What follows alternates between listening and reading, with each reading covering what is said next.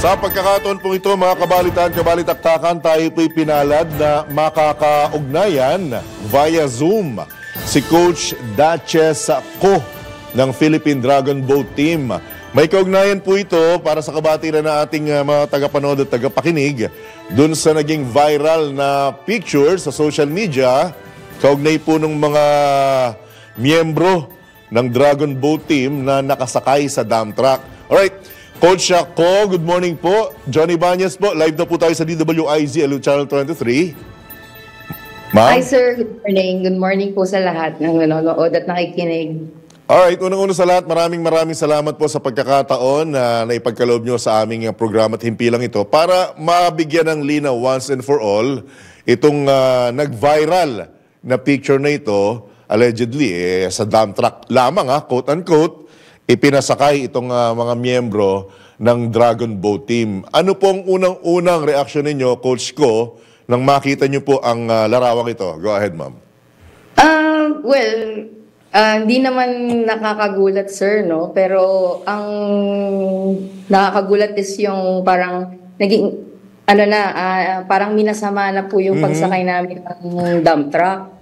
At saka tinitira na po yung City of Puerto Princesa and then ang uh-huh. Philippine Sports and then iba't ibang government officials po. Hindi namin inaasahan na Apo. ganun kalaki yung magiging impact. Kasama po ba ah, kayo dyan sa na, nakasakay na yan, ma'am? Opo, nasa harapan po, sir. Ah, okay. So, coach po namin, ang uh, coach po namin yung nagda-drive and then uh-huh. uh, meron din po kaming coaches na nakasakay sa likod. Opo. Pakibigyan linaw nga po ba, ma'am? Kasi ang lumalabas sa pahayag ng uh, uh, National Dragon Boat Athletes, uh, National Sports Association, at uh, saka Philippine uh, Sports Committee, kung di ako nagkakamali, ha? Eh mukhang, uh, apo, mukhang kayo naman po ay uh, choice daw po ninyo na dito yes. sumakay. Dahil unang-una, after ng inyong uh, activity, kayo po ay basa. Yes, so parang true. mas ginusto nyo na doon na sa dump truck para hindi naman po maapektuhan or mabasa yung uh, isa pang van na nakaredy para at sakyan ng mga atleta. Tama po ba, coach ko? Actually, sir, yung van kasi, um, yung ibang athletes natin, nagpapalit po talaga sila. Um, mm-hmm. Sumasakay po dun sa van. Alright. Tapos, dun po sa dump truck, mas gusto nila kasi mas presko. Tapos yun nga po, basa po galing training. Mm-hmm. Opo. Saka yung dump truck na po yan, that's brand new mm-hmm. uh, by the federation. And it was really uh, parang practical decision and option that we had um, mm-hmm. to use the dump truck kasi yun nga po, available naman siya and all. And mm-hmm. hindi naman po ganun kalayo ang hotels na pinagtutuluyan naming athletes and coaches. So, mm-hmm. um, lahat po kami, we didn't mind using the dump truck. Brand yun naman po, hindi naman Apo. po siya ginamit para sa basura. At saka nangyari po ito sa Palawan, tama po, Coach? Yes. Apo. Apo. Alright. Let me add, sir, na ano, um, this is talaga a decision po namin. And mm. um, the city actually offered po na mag-provide. But uh, we just declined kasi malaki na po yung naitulong ng Puerto Princesa with the hosting of mm. the ICF World Dragon Boat Championships. Mm. Alright. Linawin ko lang ha, brand new, hindi po pang basura at hindi pang hakot ng gravel and sand itong pinagsakyan nito. So hindi po kayo inalipos na, hindi po kayo inape dahil doon sa nakitang picture na yan. Alright? Kaya, kasi kailangan malinaw eh. Opo, kasi uh, to be honest ma'am, uh, nasundan ko yan nung nasa kabila pa ako. Kayo rin po ba yung Dragon Boat team na nagpa-practice uh, dati sa Manila Bay?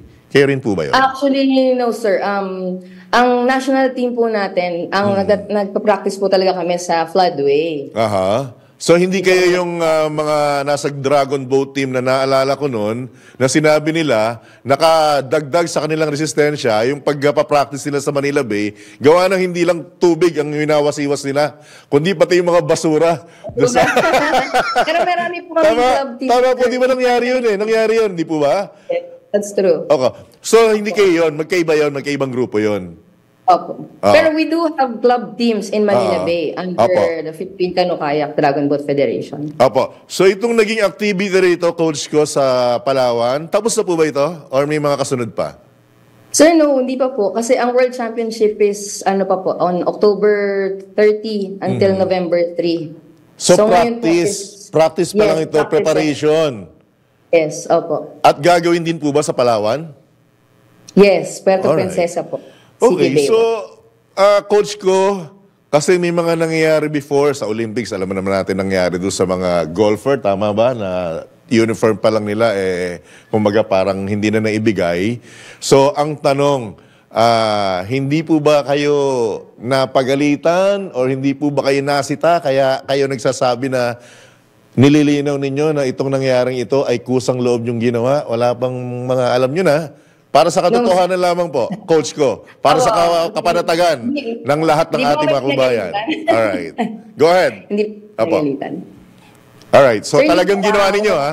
On your own. Decision din po nyo. Yes. Alright. It's our own decision, sir. You can Apo. even ask uh, our athletes ah, na, na nagbi-video, nagla-live video pa sila, sir, habang nasa dump truck. O sa, sana napakita natin to para at least eh, ah, masabi natin na talagang enjoy. Actually, sa totoo lang ha, kumpara sa talagang masikip na van, eh kung ako rin naman ang tatanungin, kung basa ka rin lang naman, gusto mong matuyo agad, papunta sa hotel mo, why not? Kung mga 10 minutes, 5 minutes, or 15 minutes, di ba? Mas presko Opo, eh. wala. Kasi alam naman natin ng Puerto Princesa, wala naman halos traffic dyan. At the same time, wala naman pa yata halos na pollution dyan, di ba? Wala. Diba? Alright. Okay, coach ko, nalinaw na natin na hindi kayo inalipusta at inape at uh, sariling desisyon ninyo na sumakay ng dump truck na bago. Okay, on a lighter and positive side, kamusta na po ang pagte-training ninyo at preparation ninyo para sa kompetisyong ito, coach ko? Go ahead. Sir, uh, actually, we're really, really excited na to compete uh, in less than 10 days. So, uh, we're very thankful sa lahat ng mga support po na natatanggap namin despite the uh, medyo bash, na bash in social media, no? Aha. But Ah, hinihiling ko nga po sana na parang let's not ano na po add negativity to, to the mental um, sa mind po ng mga athletes natin. Kasi syempre hindi mo rin mapipigilan po. Grabe kasi yung naging impact nung photo ng nasa dump truck ang mga athletes. But then um, the athletes are really excited to compete. And um, ayun po hopefully um, we get all the support ng ating mga kababayan yun. Ano pa po ang kulang ah, na kailangan ninyo immediately, coach ko? Equipment, ah, whatever. Financial, ano pa po? Sir, wala po. Um, ready na po talaga kami. Uh, food, um, supplements, we have. Our uniforms is ready. Um, for sure, hindi po kami. Ah, kompleto po. Kompleto na po ang aming ah, mga pangangailangan. Yung po bang nakikita ko ngayon sa video with your indulgence, yan rin po ba ang gagamitin yung ah, bangka sa inyong competition, ah, coach? Ah, no, sir. Um, kasi ah, for World Championship, sir, kailangan po brand new boats. Ah, okay. So, lahat Alright. po. We have um, 50 plus brand new small boat and standard boats that we're going to use for this competition. so yung ginagamit nyo sa practice, iba pa po yung sa gagamitin ninyo sa mismong competition, tama ba? That's correct, sir. Ah, pe- pero kumpleto na kayo. Yes. Wala nang Kompleto po. kailangan. Talagang training at focus na lang po ang kailangan ninyo. Yes. Alright. Opo. Kung nakikinig po yung ating mga kababayan, in particular dun sa mga, kasi hindi man lahat ah, nakakasuporta dyan sa sport na yan. At saka, tama ba, karamihan ng miyembro ninyo is from ah, army? Or milit- uniformed Um, we personnel? have po. Yeah. Um, uh, meron po. May percentage po na from Philippine Army. Meron din po kami from Air Force. Meron din po from Navy. And then Bureau of Fire. We, we have So, puro po. uniform personnel, coach ko. Um, hindi naman po, wala pa naman po sa kalahati. Siguro mga 40, 40% sir. And then the rest are from the PCKF grassroots po. Apo. Anong anong advantage ng uniform personnel? Dahil sa training nila at discipline, tama po ba? Um, yes sir, yung advantage po is that uh, training po talaga lang. Mm-mm. Mm-mm. Opo, yun. We have also members sir na ano from our club teams na nag-try out for this competition. Ah, okay. Ah, Especially mga masters po natin, Opo. mga 40 plus and 50 plus. ilang mga bansa po ang kalahok at ah, kung i-rate natin nang hindi tayo nagbubuhat ng sarili nating barko, eh barko o bangka or bangko, ano po ang chances ng ating ah, team to win the gold? Ika nga. Ilang ilang Oh, I- bansa I, po? don't want to overpromise, sir. Apo. Pero um, currently, we do have like 26 countries. And then, Ooh. um, most of the powerhouse po sa Dragon Boat um, from Southeast Asia are coming. And they have confirmed. And um, kami naman, ayaw, ayaw ko kasi po yung nagpa-promise ng limang gold or whatever. Ah. But the athletes are really 110% na ibibigay talaga ang lahat para sa larong ito. Ang alam Of ko, course, coach, nag, ang alam ko, tayo- nag back to back kayo, di ba? Tama ba? Nag back to back world champion, tama ba, coach ko? Um, sir, nung kasi pandemic, nung 2021, we're supposed to compete in um, Uz- Uzbekistan but hindi po kami nakapunta Aha, kasi aha, decline po and syempre uh, COVID. The last was in the uh, US na naka five golds din po ang Mm-hmm. Wow. mga athletes. Five Opo. goals. All right. Again, nasa inyo po ang pagkakataon, Coach Jaco, kung ah, ano pong mensahe nyo sa ating mga kababayan at sa ating pamahalaan kung meron man, nasa inyo po ang pagkakataon. Go ahead, ma'am. Um, Unang-una po sa lahat, um, pasalamat po kami sa Puerto Princesa City, Mayor Byron. Thank you po for um, accepting the hosting of the World Championship. This is a once-in-a-lifetime opportunity uh, Philippines to host this kind of event. And then, uh, of course, sa Philippine Sports Commission na wala pong sawa talaga na sumusuporta na kahit ano pong i-request po namin is na papagbigyan po nila kami. Uh, Philippine Olympic Committee, thank you rin po, uh, Mayor Bambol, um, sa lahat po ng mga family, relatives, and friends, our club teams, and our sponsors.